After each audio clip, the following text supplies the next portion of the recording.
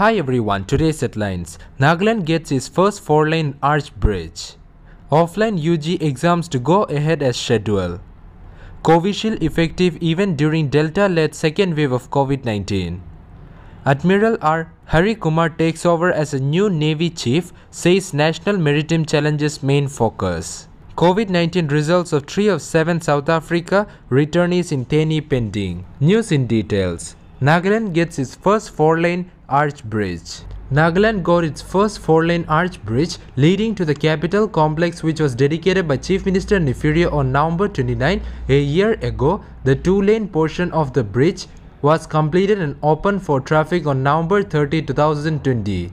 The Ministry of Road Transport and Highway sanctioned the project during December 2015 at a total cost of rupees 35.82 crore with a rupees 20 crore under the CRF sanction on December 29, 2015 and rupees 15.81 crore under state resources for additional works sanctioned during 2021. The work was allotted to two contractors on a joint venture during July 2016 wherein the actual bridge layout was given only during November 2018.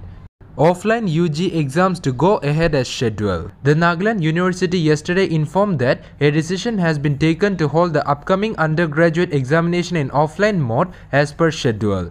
A press release from Dr. Abemo, Registrar Nagaland University informed that this was decided during the emergency meeting of the NU Authority, Department of Higher Education and principals of undergraduate colleges affiliated to NU on November 29.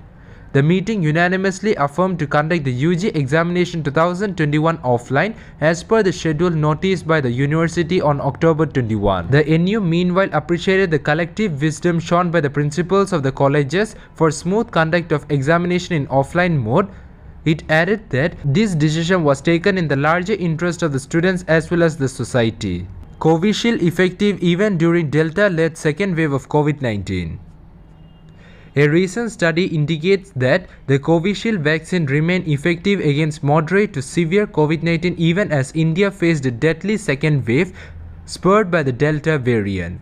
The Serum Institute manufactured jab is one of the three vaccines that have been used to administer more than 1.2 billion jabs to India's adult population. Admiral R. Hari Kumar takes over a new Navy chief, says National Maritime Challenges main focus. Admiral R. Hari Kumar took over as the new chief of the naval staff. On Tuesday, he replaced Admiral K.B. Singh, who retired from service today after a 30-month tenure. The new Navy chief received the Guard of Honor at the South Block lawns. It is a matter of great honor for me to take charge as the Chief of Naval Staff. Indian Navy's focus is on our national maritime interest and challenges, Admiral Kumar said. COVID-19 results of 3 of 7 South Africa returnees in Thane pending. Officials.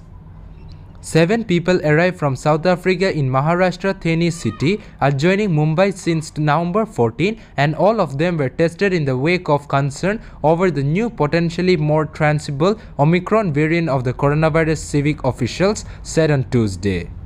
Four of them tested negative for the coronavirus while results of the remaining three were awaited. Deputy Municipal Commissioner in charge of the Thane Civic Body's Health Department told the PTI. That's all for now. To get us latest news, don't forget to subscribe this channel. Thank you.